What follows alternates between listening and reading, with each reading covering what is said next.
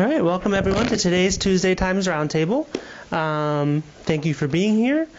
There should be maybe a few more people than articles in the room, but for the most part, um, between some chairs that have articles and no people, or if anyone wants to be neighborly and uh, and have two articles, uh, two people for one article, I think everyone should be able to to have some glance at it. But I know the presentation will include um, some references to it, and we'll have a great conversation.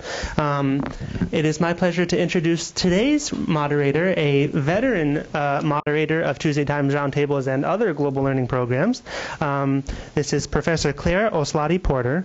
Uh, uh, Dr. Ouselati Porter is a visiting instructor of sociology here in the Department of Global and Sociocultural Studies, also known as GSS. She holds a doctorate in applied anthropology from the University of South Florida. She received a dissertation fellowship from the American Institute of Maghreb Studies to conduct research with women workers in Tunisia in 2008 and is currently developing a research project on the marketing of Tunisian soft drinks and the sociocultural dynamics of the metabolic syndrome epidemic in Tunisian uh, women. Since receiving her doctorate in 2011, she has published in the Journal of North African Studies, Middle East Media and Book, Re- Book Reviews Online, Middle East Media and Book Reviews Online, and Feminist Frontiers. It is my pleasure to uh, turn it over for today's roundtable discussion of terrorist attack in Tunisia, uh, Professor Claire Ouselati Porter. All right, so I turned it on. Yeah. Well, thank you, and thank you so much for being here. Um, the, the, article I chose was published on the 26th, um, or um, actually, I think it didn't come out until maybe the, the 27th, 26th, 27th, um, when I was in Tunisia. This was one of the earlier initial terrorist um, uh, reports on the uh, an attack uh, uh where um, someone who was a, a, man who was involved uh, in a terrorist organization in Tunisia um, went out onto a, a, tourist resort beach in an area called Sousse in Tunisia and um, shot and killed 39 people and wounded about 20 other people. So I had just I'd been in Tunisia about uh, 10 days when that happened.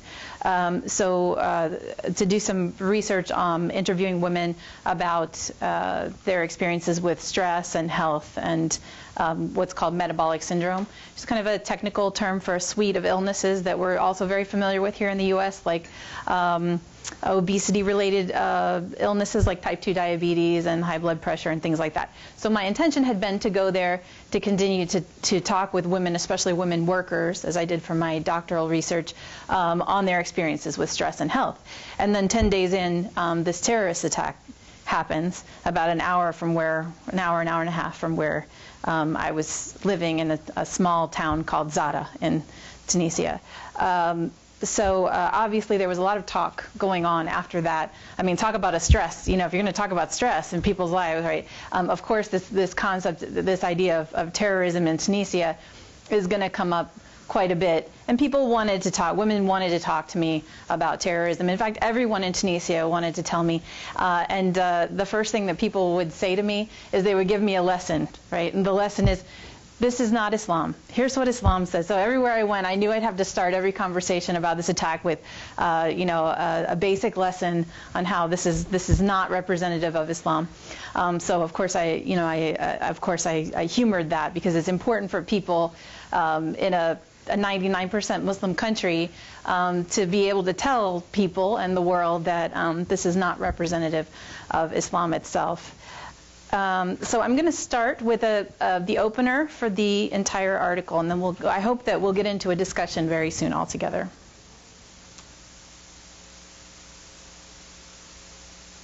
The very beginning of the article that I think a lot of you have, right? So Sousse, Tunisia, at least one gunman disguised as a vacationer attacked this placid Mediterranean resort on Friday, killing at least 38 at a beachfront hotel.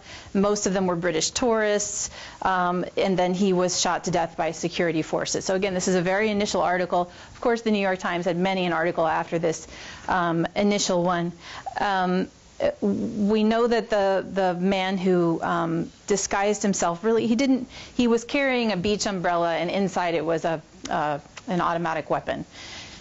Um, and he, so he went into this tourist area and um, tourist areas in Tunisia are very beautiful, um, and they're mostly uh, the high season is the summer, uh, and it's mostly Europeans who go. So when I was there, um, I just never saw any other Americans, and that was true uh, the first time that I went for my doctoral research as well.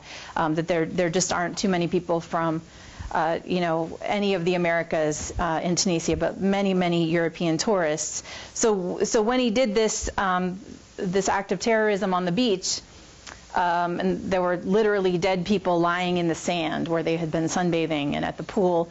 Uh, um, there was there was a lot of talk afterward that it took a very long time for the Tunisian police to come and start to try and, and catch this guy who was running on foot at that point um, through the city with the gun um, that it, it took uh, between 30 minutes and some reports are that it was actually more like three hours before the police came on the scene um, to do anything about this, um, and that this was really meant to attack um, uh, the, you know, the the the, uh, the what ISIS in Tunisia called the crusaders um, who come to Tunisia for their vacations, um, in their words. So here it is. It, it sent shockwaves through the country, which was still recovering from the massacres of mostly foreign tourists at a museum. That was the Bardo Museum in Tunis, the capital, in March.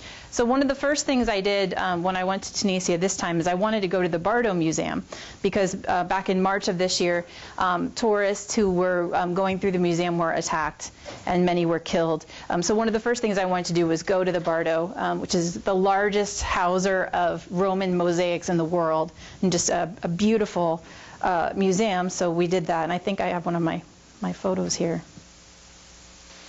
So this is um, my friend's daughter. So I had a, a, friend also from the U.S. who happened to be in Tunisia at the same time as me, who does research on something else. Um, so we decided to take our kids, my son and her daughter and son, to the Bardo. Um, uh, so here, what we didn't know is that the um, Tunisian authorities at the museum had decided that they were not going to fix the gunshots ever that this will be part of remembering this terrible occasion. So um, we didn't know. So we went around the corner. You know how kids are in a museum, right? They're running ahead, and um, if you if you've never been to North Africa, what you'll find is that people love kids and people are very um, permissive. So the guards in the museum are letting the kids, you know, run around and yell and touch things, and you know they don't mind. So the kids have run ahead, and then we, I, I come in, and her daughter is just discovering this bullet hole that we didn't know had been left there. Um, and then we went through the rest of the museum, and there were, you know, bullet holes where the actual attack had happened. So the, those shooters from those gunmen were also affiliated with um, with ISIS in Tunisia and across the border in Libya, where a lot of um, terrorists are trained. Right. So there she is discovering um, the bullet hole.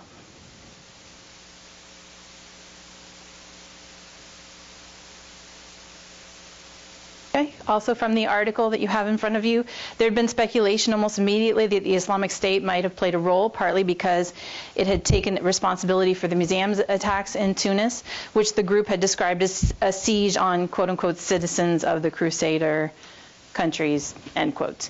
Um, Crusader countries, what does that language mean? What is it? What's a Crusader country? You know about the Crusades from history? Yeah, go ahead.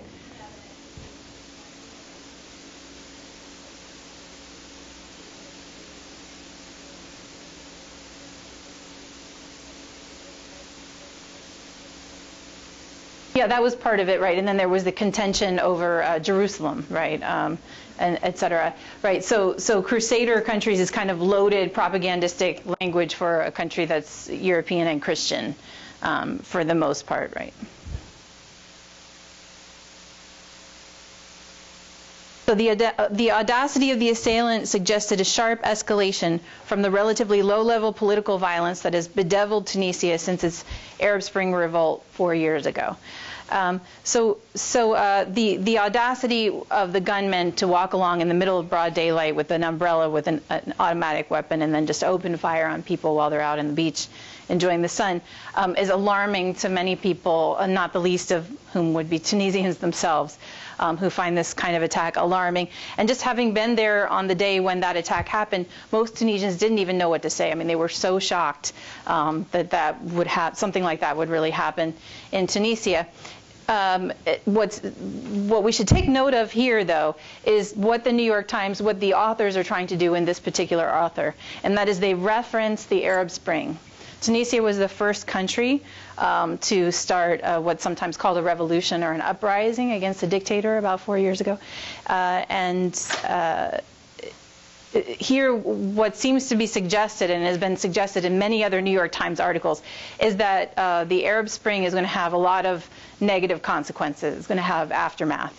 Um, there have been, um, you know, uh, many opinions expressed, especially in uh, in the in the West, that um, you know people in the Middle East and North Africa are going to sort of revert to um, fundamentalist or extremist kind of governments as soon as they have an uprising against these um, dictators, and that's been widely criticized. Um, by so- social scientists and political scientists as well, and anthropologists too, um, as, as being uh, kind of an Orientalist argument.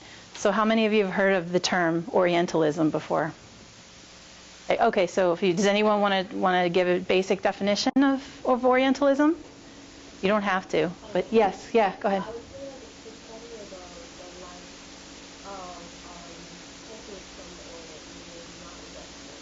Okay.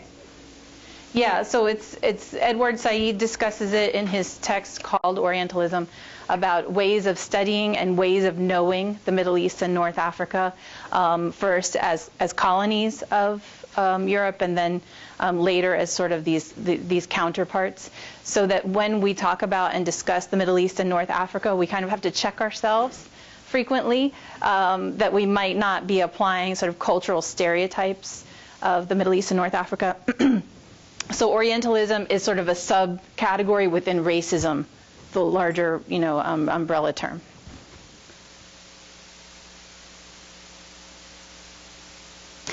Um, so this is the president of, of Tunisia, um, Sebsi, uh, and and um, he was he was democratically elected um, it's important to note that Sebsi uh, is, is 93 or 94 now.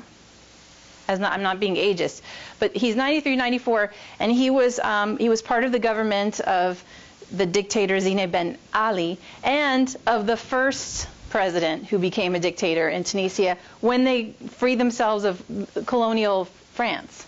Right. So Sebsi has has literally been part of every administration up until um, current. He's um, seen as an elite kind of a guy who's very well connected in Tunisia. Tunisia is the kind of country where you really, it's, it's very much all about who you know, right? You have to have the right kind of social network connections. And Sebsi has them. He's also been um, charged by human rights lawyers as being complicit in corruption, um, in the, you know, the, the torture and surveillance of people under dictator Ben Ali who was deposed in the Arab Spring. So there he is. So um, Sebsi comes on the scene a few hours after this terrorist attack. And he he's, he rushes to the resort and he promises new tough new procedures to thwart any further mayhem. So so unfortunately for Sebsi, this kind of terrorist attack is an opportunity.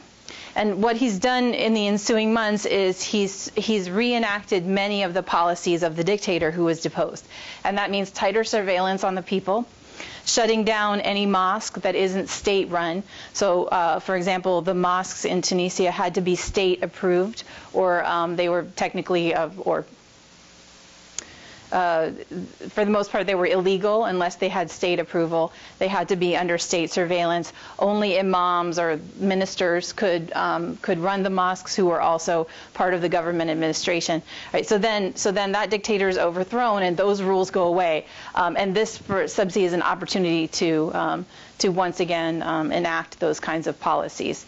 Um, Tunisia, under the dictatorship, was also on the top 10 list of least free countries in the world. And that meant um, when I was doing my dissertation research and the dictator was still there, I learned very fast. I was schooled by Tunisians um, about just how tight that security was. So everywhere you went, there were people in plain clothes who were being paid off by the government to listen to what you were talking about. So nobody could have any kind of political conversation in that Tunisia, right? You could talk about soccer, right? Which is what a lot of men did. They go to soccer games and have these veiled conversations about soccer that were really about political opposition, right? Um, if you were caught saying anything disrespectful or subversive, um, be it secular, be you a leftist Marxist or a, a, a devout Muslim, you could be tortured. Um, they would, uh, uh, the Human Rights Watch list is just, it's very disturbing. Um, people were being, you know, tortured and sexually assaulted in prison. They would go after people's families and torture and sexually assault them if they were involved in any kind of subversive activity.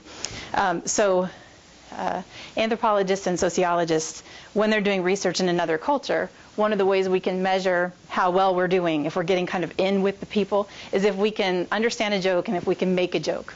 So when I was doing my dissertation research back in 2008 and 2009, the dictator was there.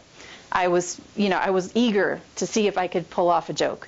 So I was in a taxi cab with some Tunisians, and we uh, we stopped in traffic, and there was this huge billboard, like there were everywhere in Tunisia, of the dictator Ben Ali, whose picture I don't have, but I he looks like Dracula to me. So I thought, you know, I thought I'd try my hand at a joke. So I turned to my friend. I was like, "Hey guys, does, doesn't doesn't Ben Ali look like Dracula?"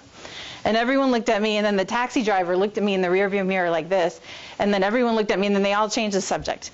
And then uh, when when we got home, I got this huge lecture about how you cannot say anything critical about the dictator, and don't you know taxi drivers are all on the take. They all get money to listen to people's conversations, and you can't you can't say anything in front of them. And then the longer I got there, it seemed like people were telling me that, you know, you know, don't you know you can't say anything in front of the ice cream guy because all the ice cream parlors are on the take, and don't you know in the shoe stores you can't say. It was just there was this constant kind of paranoia that you were being surveilled by other Tunisians, and that's how dictatorships tend to work, especially autocratic ones, right? That's not unusual, right? Um, so now all of that has fallen away because of the Arabs, Arab Spring and the ouster of Ben Ali, but um, we have a Sebsi, who worked for Ben Ali for those almost 30 years, who's now in power. Um, and, and so many Tunisians are concerned about this. Right, so here, um, Tunisian, uh, sorry, uh, mostly Europeans who are leaving the country um, hours after the assault. Many of the vacationers in Sousse, traumatized and tearful, were packing to leave. The British government actually sent in um, uh, their own airplanes to take out other British vacationers, and, and the British were told you not you must leave uh, Tunisia. So again, this is the the height of the tourist season, so pretty devastating. And then Sebsi sent out police um, to patrol the beaches. However, I went to the beaches um, and uh, I saw police twice after weeks and weeks and weeks. Um, when the police were there, there were film crews, and there was there was a, a, video opportunity, and then that would end up in the nightly news that was controlled by the state, right, as showing, you know, we have all this police. Uh, you know, this, uh, these police out in force. Um, I went to Carthage, the historic site, and there was a police officer there, and he was sleeping, and his automatic was over you know, over there, like way away from while he was sleeping. Um, so there, there have been these questions. Many Tunisians are making these kind of derisive jokes, like, oh yeah, security. Um, and I actually had a conversation with one of the waiters in a hotel, and I, I said, oh, so what, how's security now? And uh, he said to me, "Famish security," which is like it doesn't exist, right? There's no security except when cameras are there. Here's one of my photos. Um, this is from another beach resort area close to Sousse, and this was a few weeks after the terrorist attack, um, after a long day of almost complete emptiness. Right, so it's Ramadan, so most uh, Tunisians, even those few at the top who have the money to go to the resorts, not many, uh, you know, we're not at home doing Ramadan. And the, most of the, the tourists were gone. Um, so there might be like one French family in a 300 person hotel unit. So just all these uh, uh, beachfront resorts are just empty. Um, animation crews who work there, like young people are supposed to work in the resort to entertain the kids, are just sort of wandering around looking for anybody to entertain. Uh, 75% of the staff has been laid off. It's going to be devastating to them. And then Ramadan ends, and some elite Tunisians who have the money go to the resorts. Um, but you can see most of the tables are empty, and there, there they are doing the Macarena. Right? Um, but uh, you know, everybody up there is you know, uh, you know, uh, affluent Tunisians, which is not enough to to take care of um, this overall problem with with uh, with uh, the the devastation of the tourist industry. So. In the same New York Times article, you have a list. So let's go back to the article here. So there's no indication that this, the series of attacks on Friday were coordinated. So on the same day that Saif ad-Din came to the Tunisian resort and, and killed 38 people and wounded 20 others, other attacks are happening um, in different parts of the world. And you can look over the list there. You have it here and here and look over it. So there was there was some discussion that there must be some connection. I don't know that they ever made any actual solid connection that these were orchestrated or not. So if you look over the list, what do you think? Or you can just look up here if it's not on your on your sheet there.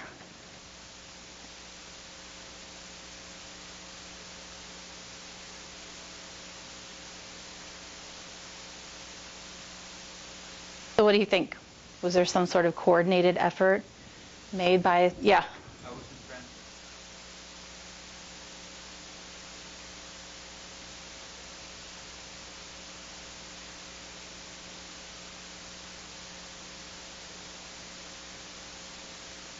Charlie Hebdo. Charlie Yeah. Hebdo happen Yeah. like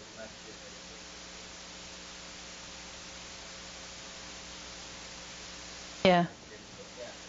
Right, right. So, so what do you think? Do you think that they're are they are they acting coordination, or are these these um, more likely to be coincidences? I think they're just meant people so we react, you know, according Okay. to the times. I also went during Ramadan to um, Turkey and I didn't really that much Yeah. movement happening, but I did see a kind of like towards towards America. We were American walking around, there was a big Thankfully, I don't look. You kind of blend in, huh? Yeah, no. People would ask me, and uh, in Tunisia, they were just so shocked, and they, say, "Are you French? Are you, you know, English?" And then say Ameri- American, and they just, you know. But I mean, nobody was hostile toward me. They were just really surprised, you know, to to see me there. So, anyone else? What do you think? Is there? Do you think there's these are probably coordinated based on other news that you've read or other reports? You, would you agree? You think it's some sort of like these are cells of the same kind of organization? Are we talking about global organization here? Yes. Even though um, the name is Canadian, I think that is not really connected, or it would just mean that you did have to, or propaganda like, look, this is global um, terrorism, this is conspiracy, and stuff like that. So you, you see, it, sounds like you're almost saying that this is being used. Like, who's using this, these kinds of events as propaganda, and for to what ends? so maybe the president of uh, of Tunisia um, can can use these kinds of. But what about in our own society? Are there elements in our own society or, or personalities who are saying there's some sort of global um, something we should be afraid of? Yeah, go ahead.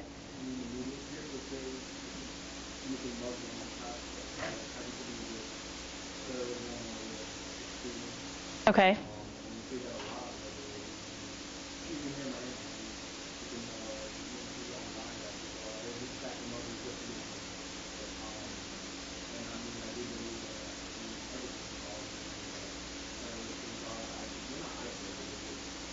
Very, very small portion of it for as long as we were I mean, I just think that people, um, that the our government or the other governments use it as a power propaganda tool to, for their own benefit. I mean, I know what those benefits are. but not really. You know, there's a lot of things we don't know about our own government, other governments.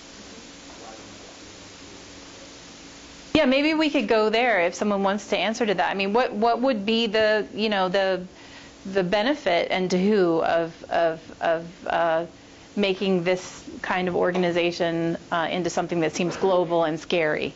Yeah, go ahead.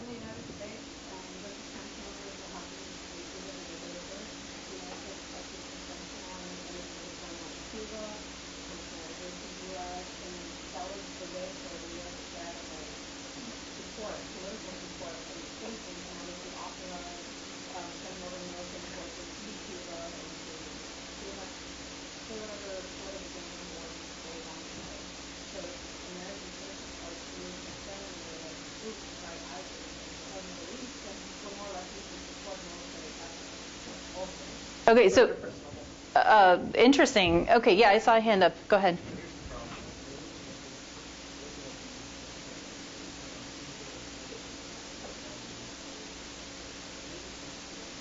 Yeah. But the language is used by the conversation style, even if they are more sensitive to the basic terms like that, yeah. And even in countries such as American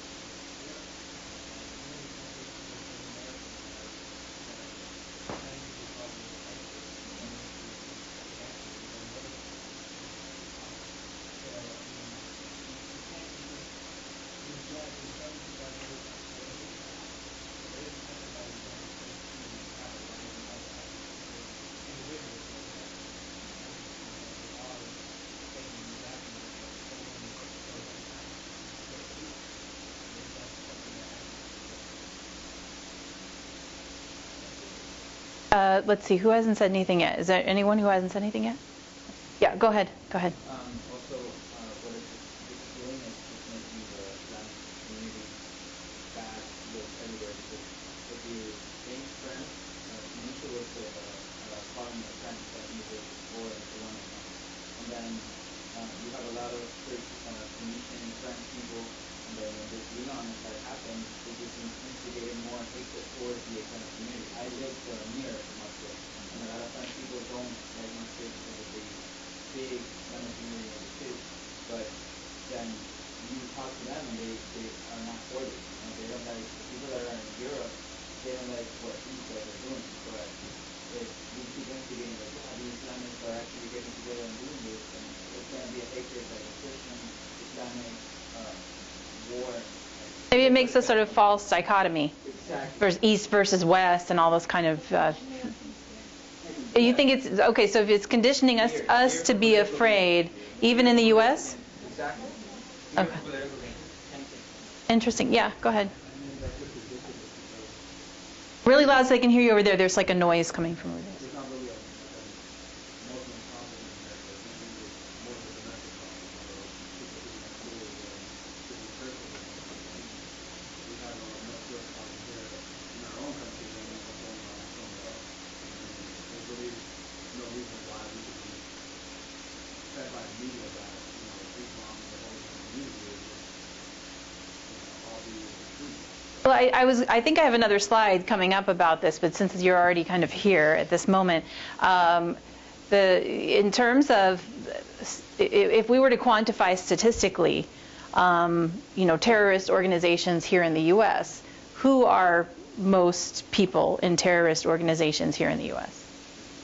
Well, they might not be in the KKK per se, but they are white supremacist organizations, right? That stockpile more weapons and, and things like that. So they're, you know, they're, the the research is pretty um, solid on that. Um, so you're you're making an important point here. And then I also hear though that this is also a serious concern. I mean, it's the the idea of of a, a globalizing terrorist organization of any kind is, you know, it does raise concerns and and needs to be addressed. So thank you for that. And we're- we're continue our conversation here. Okay, so the question here is, um, uh, what do you know about ISIS so far? We've probably all seen some news reports. Um, who are they? Who who is ISIS? What are their origins, their goals, and activities?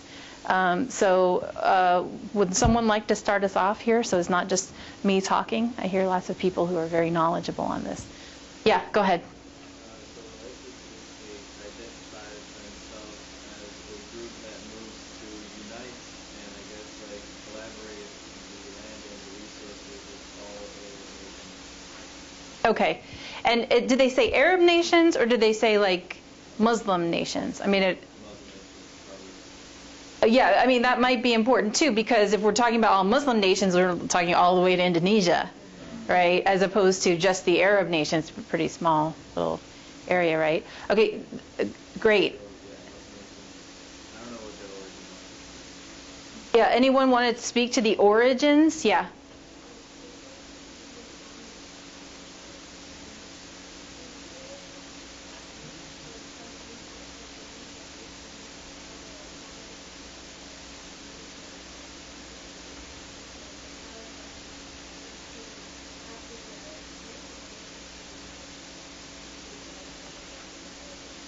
Okay, okay. And and uh, and uh, does anyone want to discuss any particular countries that have? Okay, sure. There's Syria. Do you want to say some words about Syria? No. Okay. Yeah. Go ahead. And you have Libya, and you had a strong man there, and Gaddafi, them down, uh-huh. that all these guys, these moderate rebels come in force. I actually had uh, Marco Rubio, the American professor with me, and I had a discussion with him. I told him that when you say non-lethal aid to these moderate rebels, what do you say? And he said, no, we send uh, Kevlar, we camping, we send uh, medicine. But in reality, when you read in the, in the news, they're actually sending heavy armed artillery. You know, these guys are heavily armed, and 70% of the weapons in the Middle East are American. So that's a big deal to this process. You know, that's a big, big Sure. deal. Right, yeah, yeah, that's that's part of this, right? If we're putting together a puzzle. Anyone else want to speak to the origins of ISIS? Or especially, um, yeah, go ahead. Okay.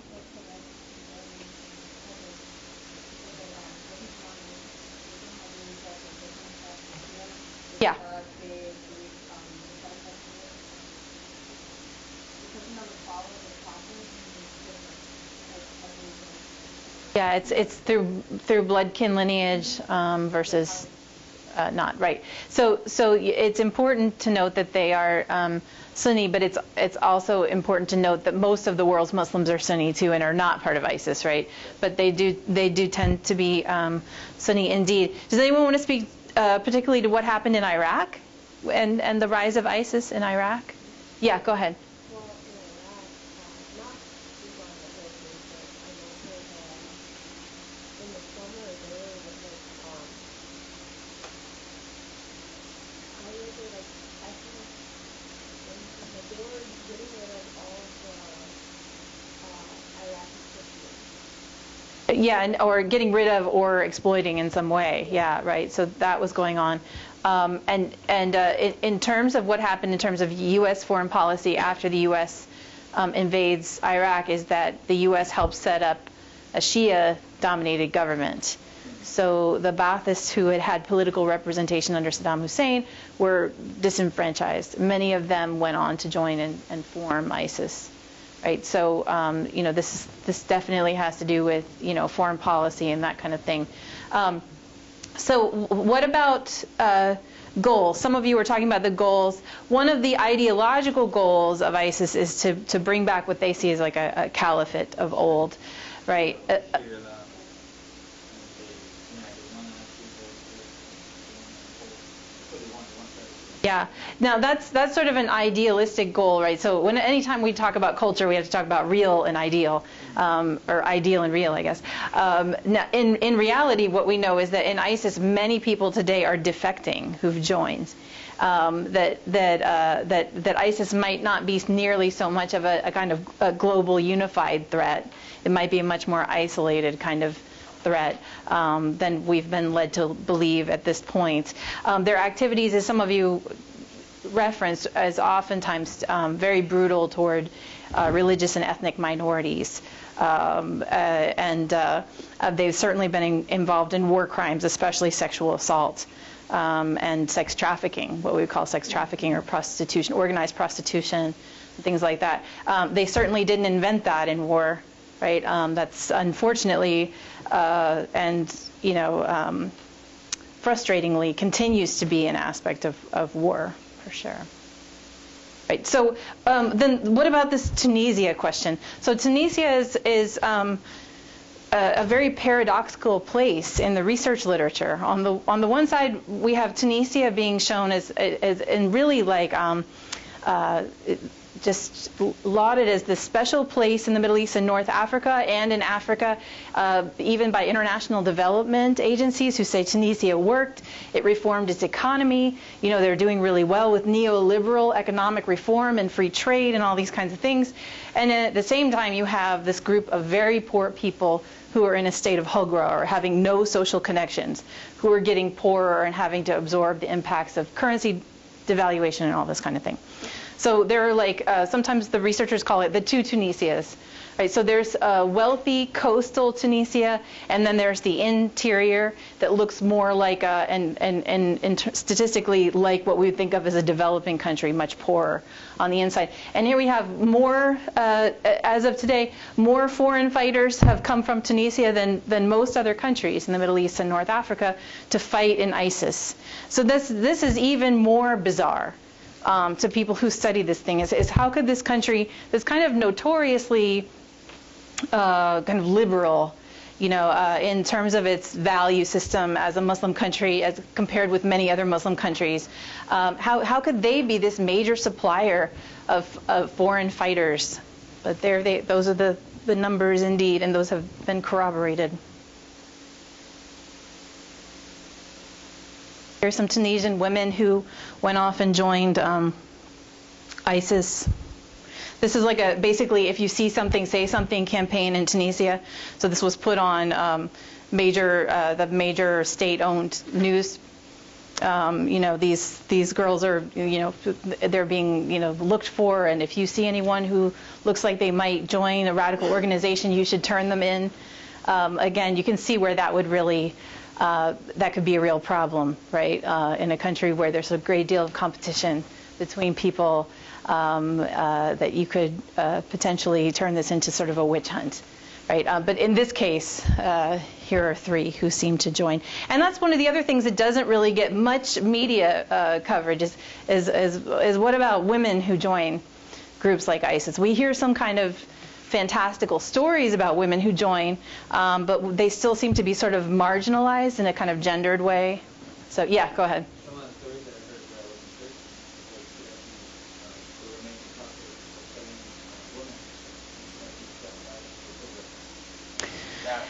Yeah.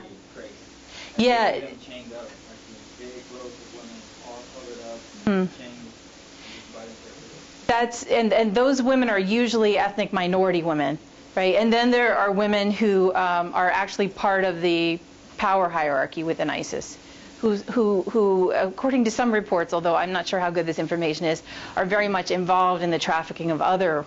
Um, uh, women, um, although I think we need to, to view with skepticism some of that media reporting. Okay, so what causes a person to join a terrorist organization? Anyone who hasn't said anything, you think you have uh, some sort of insight into what would cause someone to uh, join a terrorist organization, other than if you were a Ba'athist under Saddam Hussein and then a new administration came in and then you got angry and you know that we've already talked about. But what about regular, sort of everyday seeming people? What might compel them? Yeah.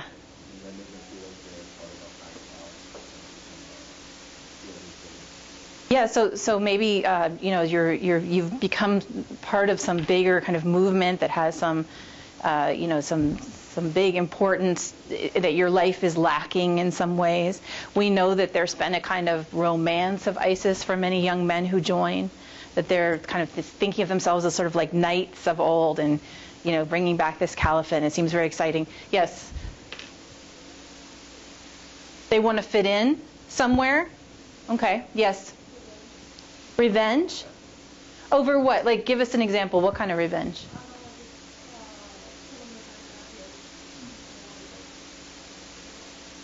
Yeah. Yeah, right, right. So, so uh, you could possibly join some sort of terrorist organization to seek revenge? Yeah, go ahead. Oh, okay, okay.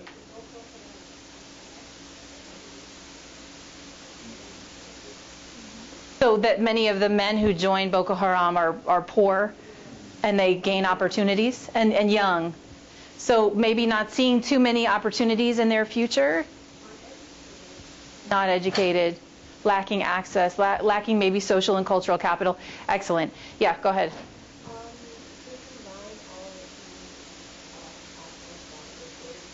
uh, one reason that a one man or a young woman might join or um, or one reason that they did is because of like the views within a institution.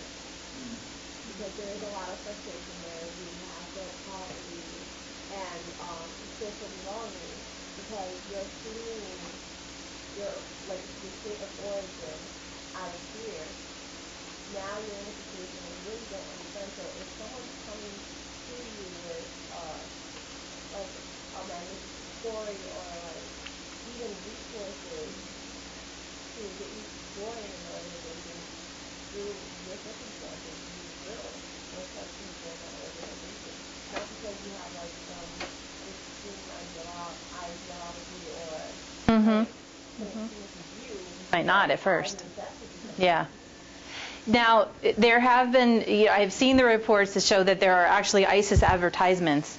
And they, they do advertise, especially to young men, saying, you know, if you need, you know, we'll pay you this much every month if you join ISIS. You'll get an apartment. You'll get a wife. You'll get this this many pounds of rice and this, you know, these many staples. So there's there's certainly, you know, there's a material component to this. The Brookings Institution also calls the, the young people in the Middle East and North Africa a generation in waiting. They're a generation that they don't have many employment opportunities that unless you're part of this small elite group in the country, so you can't get married because you, you can't amass enough bride wealth or dowry. Um, you might have a college education and sit um, for seven years waiting for a callback for a job, which is the average time in Tunisia. Just imagine yourself, you get your degree at FIU and you have to wait seven years just for a callback to an interview. Yeah, go ahead.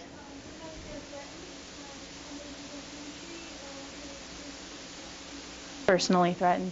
Yeah, uh, and by, by all kinds of forces, right? Even cultural forces. So that's also a very important uh, contribution. Right. So here's uh, uh, Saif ad-Din who was himself a college student. He, this is the man who killed the people on the beach in Tunisia. His family was in a state of what in Tunisians call hogra, which means lack of social connections, living in poverty, not knowing any of the right people to be able to get a job. So even though he was a college student, um, we're not sure that he really felt like he was going to have a good chance of having a job and a wife and a family and all those those kinds of things as Brookings Institute looks for.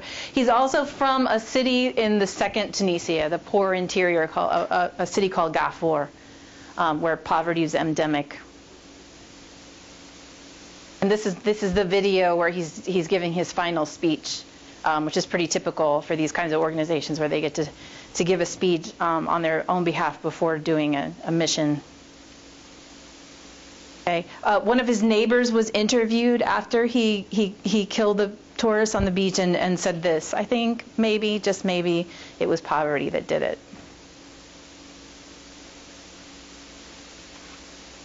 This is part of his, uh, you know, his sort of very poetic speech, Saif ad-Din's. The heroes are in their graves, real men are in prisons, and traitors are in the palace, um, he said. Um, so what does he mean, especially this last part about traitors in the palace um, and even real men in prison? Many of the lower class in Tunisia feel extremely disappointed with what's happened since the Arab Spring. Um, they feel like their own revolution got hijacked by the, the elites, the elites trying to maintain their power. And then with the election of Sebsi, that was for many the sort of a final straw. And then right across the border are ISIS training camps in Libya, right, destabilized Libya. There he is when he was a little bit younger breakdancing. Right, and I think this was a surprise to many in the West. Um, that, but but if you if you're familiar at all with Tunisia or the rest of the Middle East and North Africa, you know what a big deal hip hop is, especially for the lower classes of youth um, in the Middle East and North Africa. So probably not that much of a surprise that he loved hip hop and that he loved Real Madrid, right, and and all those those those kinds of things and there he is on the beach. So one of the really, it was just such a bizarre thing to see is that there were Tunisians out on the beach who were who saw him uh, doing this, um, shooting people, and tried to surround him and were yelling out at him to stop, and he would kind of wave them away with the gun and say, "You stay out of my way," um, and that kind of thing. I'm not out for you, so you know, back off. Um, who you know they were trying to um, apprehend him, uh, but didn't know exactly how to do it.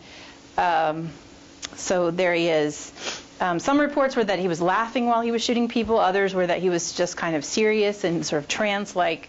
So, uh, you know, that's maybe a different kind of question to ask. And, and here again is the president, um, Sebsi. So um, Sebsi won partly um, because he really had all the major media outlets in his pocket already. So uh, pro Sebsi ads were running on all the TV stations. And then there are these billboards. This one says, and now I love Bejbouj. Bejbouj is, is his nickname. Um, uh, and then right underneath it is, is dissident graffiti which is the other thing you see all over Tunisia, right? Um, this sort of skeptical graffiti right, right beneath it. So that's that's the uh, poster of Ben Ali, the old dictator who was deposed, that is very Dracula-like. Right, um, that used to be everywhere. Now we're seeing many of these being replaced with this smiling image of the sort of grandfatherly Sebsi, um, who's sort of, uh, sort of billing himself as a kinder, gentler kind of uh, uh, leader. yeah. And here's the, all the oppositional graffiti.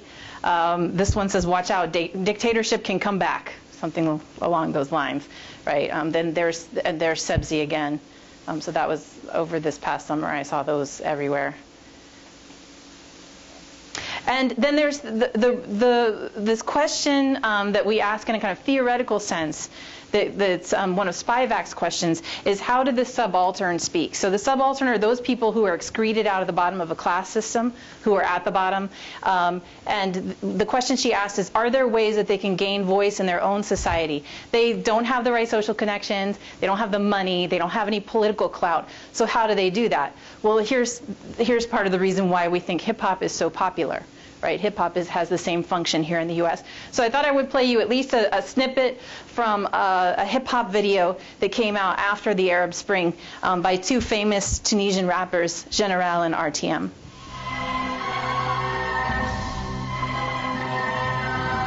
General, RTM.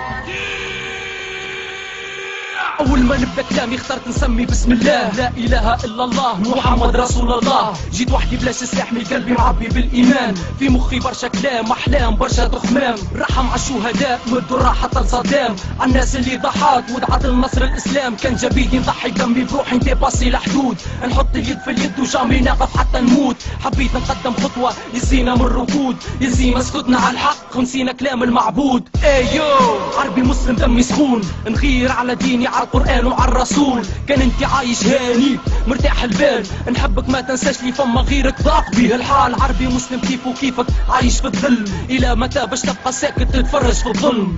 الله اكبر راية الاسلام ديما الفوق الله اكبر جامد وقفني كان الموت الله اكبر من قلبي يقولها بعد صوت الله اكبر الله اكبر الله اكبر راية الاسلام ديما الفوق الله اكبر جامد وقفني كان الموت الله اكبر من قلبي يقولها بعد صوت الله اكبر الله اكبر عارف فيكم بالصوت مش بالسلاح والدبابات اخترت اليوم نكون مجاهد يا النصر الاستشهاد. على كلمة الله أكبر والإسلام فوق الجميع. ما ينجم حد يوقف قدامي كلام ربي هو اللي نطيع إلى متى خوف؟ هما اللي سيروا فينا هما اللي يتحكموا فينا هما اللي يركبوا علينا. الوقتاش نبقاو ساكتين صامدين ما حلاش حاسين. ومنيت نشوف العرب صادمين بجيش من المسلمين. للتحرير للجهاد لين يجي وقت الممات. حتى كي نموت شهيد راسي على روحي تحت التراب. يا يسيونا من الكرتوش مجازر في كل بلاد. العرب ولاو عبيد واليهود ولاو اسياد عملوا اللي حبوا عليه سبوا الرسول. حرقوا القرآن. وكم العرب قعدوا ساكتين والشعوب كان الكلام. جا الوقت باش نتحدوا باش نحطوا اليد في اليد. على كلمة الله أكبر نعيشوا مسلمين للأبد.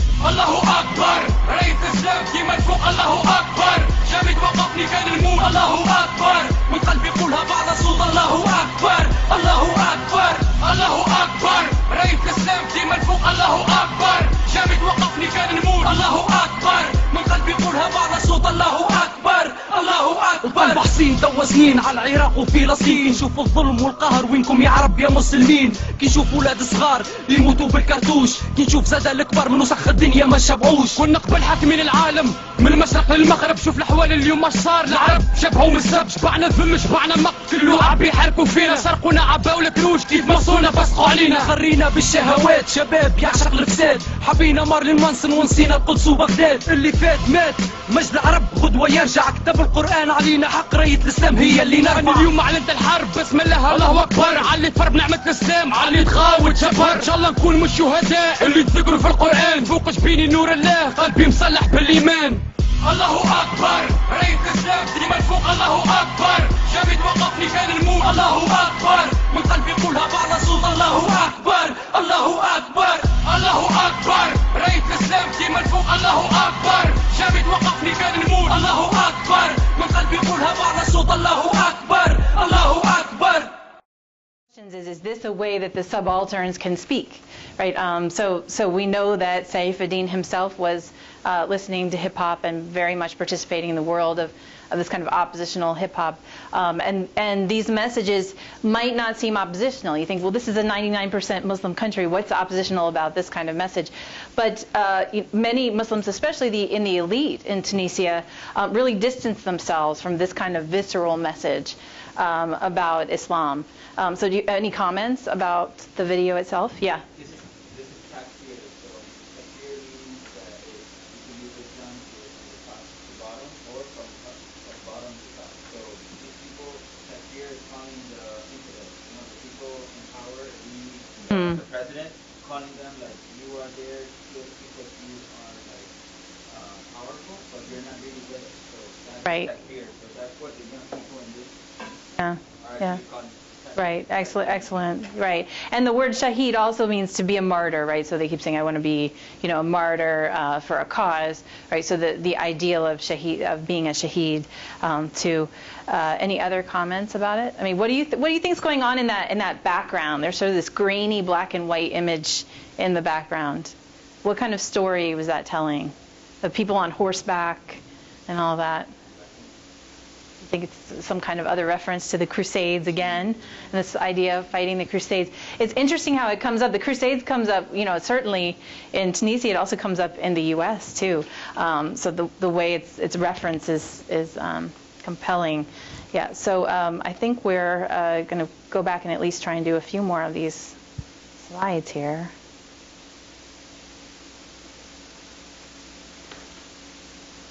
Happened to my.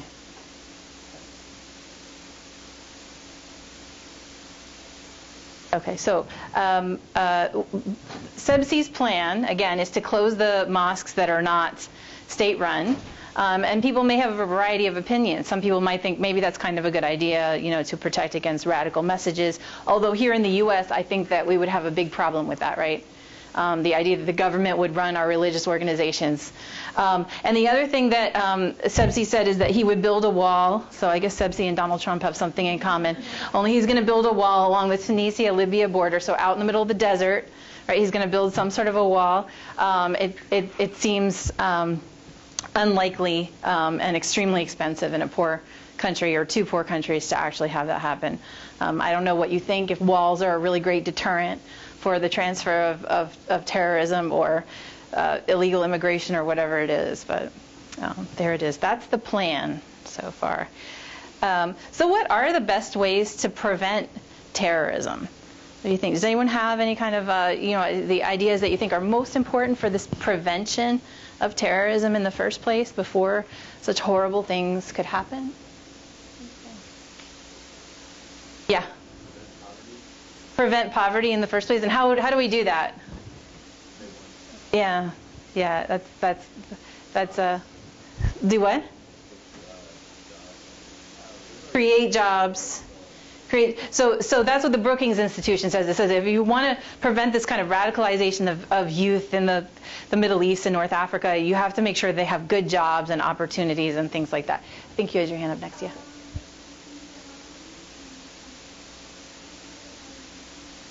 Yeah, if only we could figure that one out. You know, is how do we how do we do that? I mean, anywhere in the world, right? I don't know who is next. You haven't said anything, right? Yeah, go. I mean, poverty is mainly caused by um, education. If there's no education, then it can be you don't have a way to um, improve um, and things in a society. So probably equality and education and health that could also help out to prevent poverty. Yeah, absolutely. So, and, and, and good education, right? Like a, a kind of a, an applicable kind of education. Yeah, go ahead. Um, I do think education is important, but as you said, there's, you know, people who don't necessarily need it to get jobs. So education really doesn't, I don't think it's the root of it all. I think a better distribution of wealth, because at least I now have an idea that, you know, the majority of it all, and I think that it's going to continue because their wealth is kind of like majority of society have, and if Yeah. they move on, change the policies, and they can hold on to that wealth. Um, until that change, I think we're going to be suffering. So we may have to ask some sort of tough questions about our economic systems, and nothing heats up a room faster than that. You know, that, that conversation. I think you had your hand up next. Yeah, go ahead.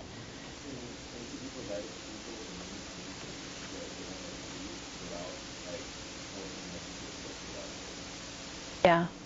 So again, there need to be these avenues of opportunity that are legitimate in the society. Okay. Uh, I I don't know who's next. Yeah, you didn't say anything yet, right? Go ahead.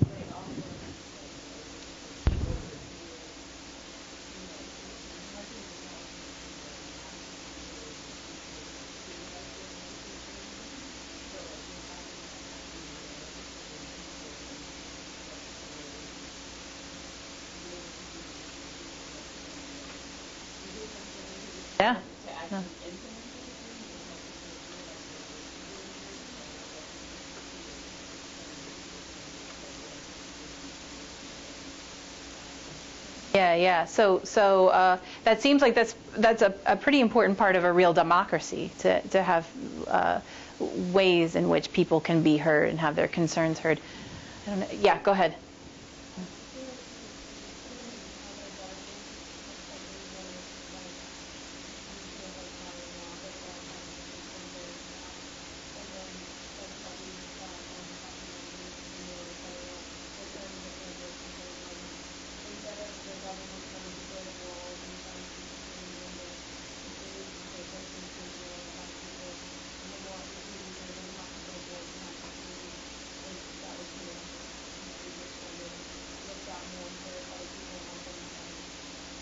Okay, so then uh, the, I guess the next question you would you know ask maybe in you know other kinds of courses would be about that. It's how do we how do we enact that? You know, um, it seems like it's very challenging to find uh, ways to um, share that kind of power in society.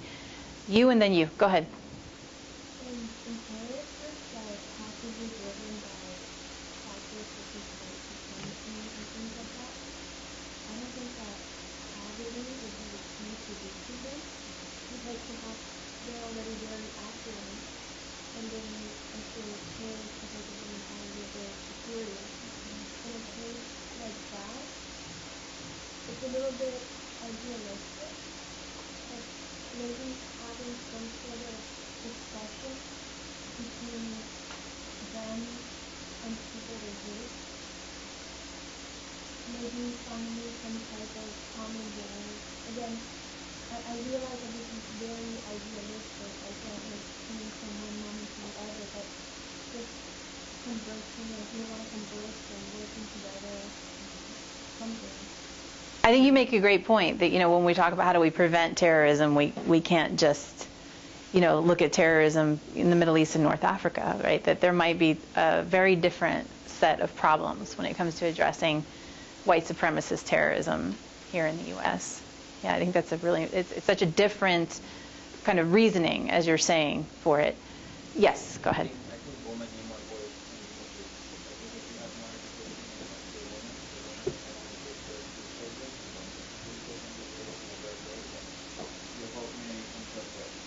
There can be all these communities around subjugating to the point that they don't want anything.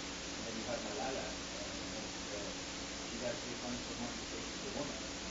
That could be one of the ways to actually bring up Sure. this society a little bit more. You know, what's interesting though is that Tunisia again is is is sort of looked at as very different. So so so there are more women in college in Tunisia than there are men, and more female college graduates than men. And then you know there are women who are are joining ISIS. So then we have to wonder if it's, of course, there are gendered kinds of issues about masculinity going on here, right? But there there there might be some particularities, and I think that's a, a really important issue though.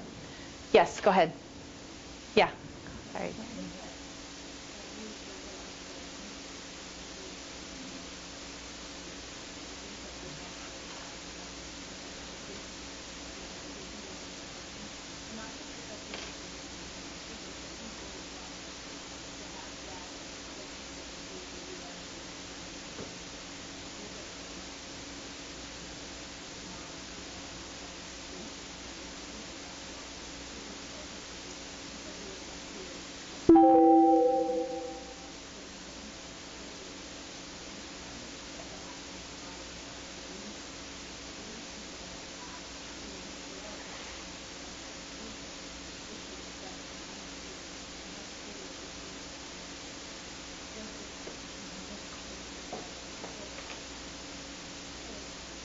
Yeah, and I think that's that's a really uh, great conclusion is that we really need a holistic view. You know, if we really want to prevent this, we want to foment you know you know multiple ways to address this kind of issue of, of violent terrorism, extremism. Yeah.